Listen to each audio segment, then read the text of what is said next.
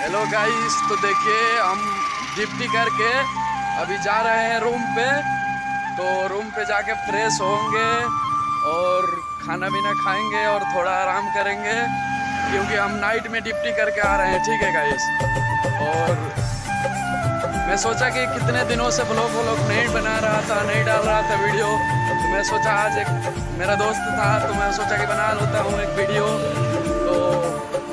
बस गाइस तो आजकल मेरा कुछ वीडियो आ नहीं रहा है और अच्छा खासा कुछ व्यू भी नहीं आ रहा है यूट्यूब पे। तो आप लोग गाइस सपोर्ट करो ये मेरे भाई को सपोर्ट करो एंड लाइक करो सब्सक्राइब करो।